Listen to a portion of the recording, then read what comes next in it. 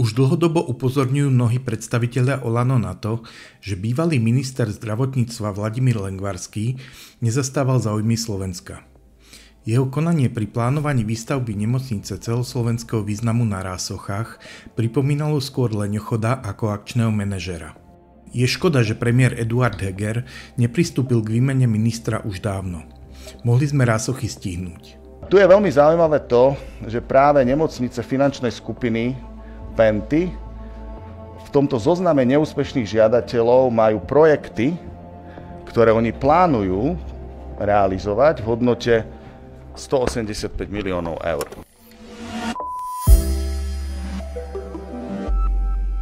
Počúvate denný Oľano Filter, v ktorom vám každý deň prinášame najhorúcejšie informácie, ktoré hýbu Slovenskom a komentáre z prvej ruky. Zostaňte s nami a majte pekný deň.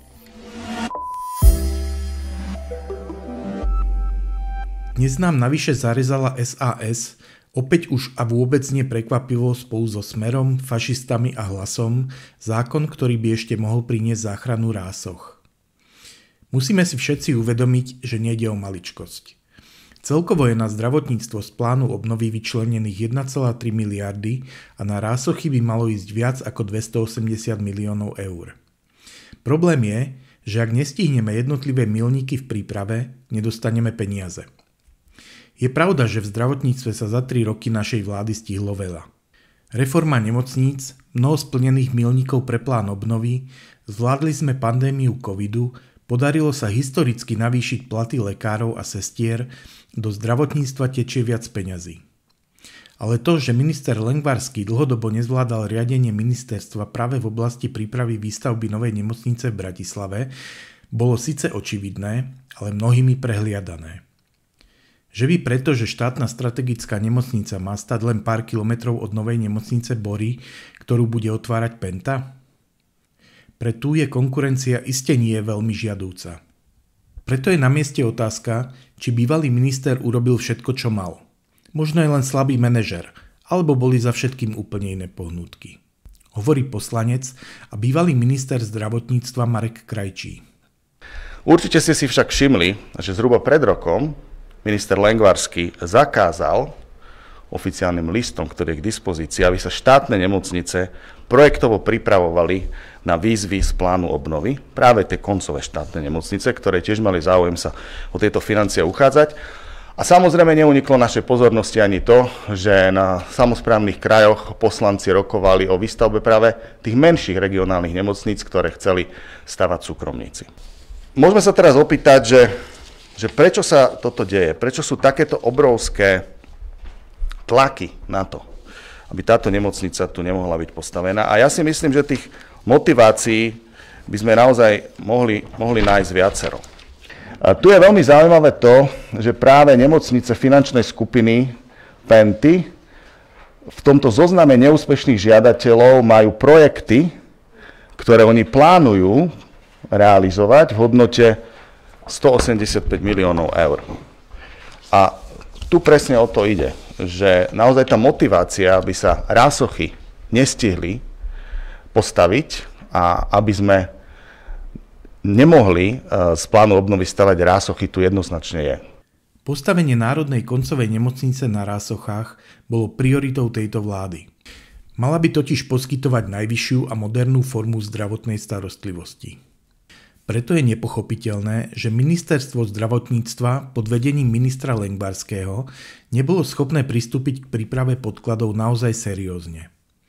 Napriek tomu bol minister Lengvarský ospravedlňovaný a požíval dlhodobo priazeň médií.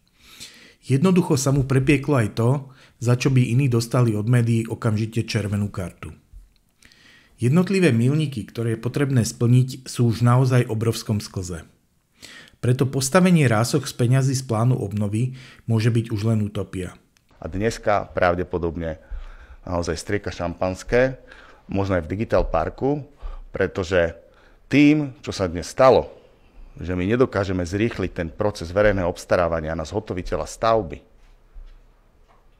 tak tým naozaj sme dali definitívny klinček do rakvy.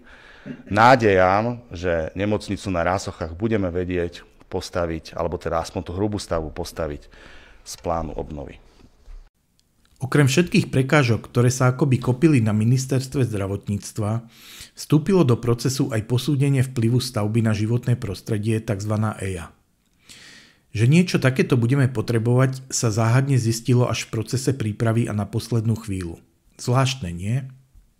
Naši poslanci Marek Krajčí a Peter Kremský preto prišli minulý týždeň so zákonom, ktorý by pomohol stihnúť milníky tým, že by umožnil vykonať štátnu expertízu skôr, ako by bol známy výsledok posúdenia vplyvu na životné prostredie.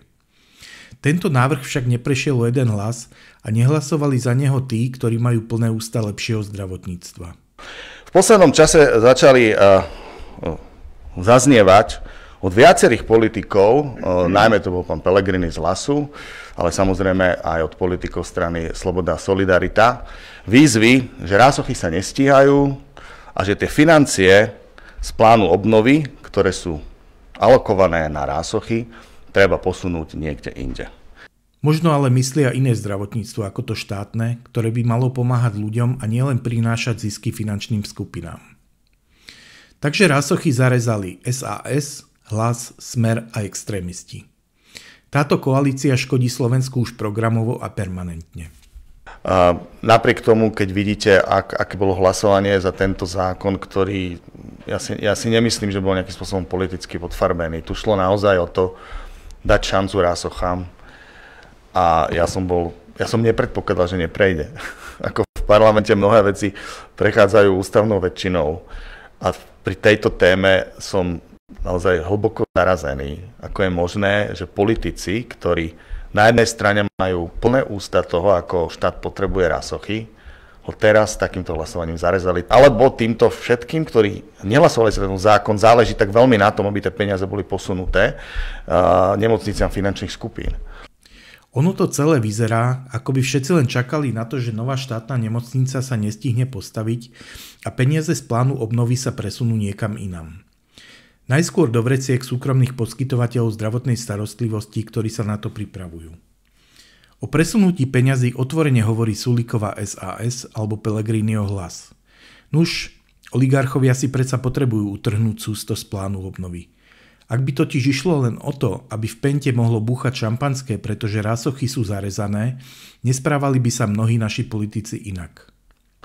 Že mnohí poslanci, a neviem, či vedia, čo urobili oni naozaj tým, že vytvorili zo štátu neschopného, posunú tie financie a do veľkej miery pravdepodobne finančnej skupine Penta, ktorá naozaj nie aby investovala z vlastného financie, aby ona mohla podnikať v na Slovensku. Ja nič nemám proti súkromníkom a ja si myslím, že práve obrovská výhoda súkromníkov je to, že prinášajú vlastný kapitál a ktorí samozrejme, keď prinášajú do nášho zdravotníctva, majú plné právo na to si vykazovať zisk.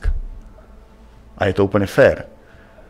Ale nerozumiem tomu, prečo naozaj mnohé súkromné projekty neustále len pýtajú peniaze od štátu, a teda nás všetkých občanov, a ešte z nich si kľudne aj vykazujú ďalej zisk. Je pravda, že premiér Eduard Heger aj nový štátny tajomník ministerstva zdravotníctva Michal Palkovič sú pri rásochách ešte optimistickí tak im budeme držať palce. Pretože pre všetkých by bolo lepšie, aby mali pravdu oni. Ďakujem, že ste nás počúvali a budeme radi, ak si k nám sadnete aj zajtra. A pamätajte, to, čo sa deje v zdravotníctve je boj. Boj štátu a finančných skupín o biznis. Najhoršia možnosť preto je, ak na zodpovedných miestach a v parlamente sú ľudia, ktorí uprednostňujú záujem finančných žralokov pred záujmami štátu. A to dnes vidíme pri rásochách. Ak nás chcete osloviť, poslať nám pripomienky, urobte tak na podcasty zavináč obyčajnýľudia.sk. Vypočujte si naše podcasty na všetkých podcastových aplikáciách, lajknite náš YouTube kanál alebo Facebookovú stránku, Instagram, proste zostaňte s nami v kontakte. Majte príjemný deň.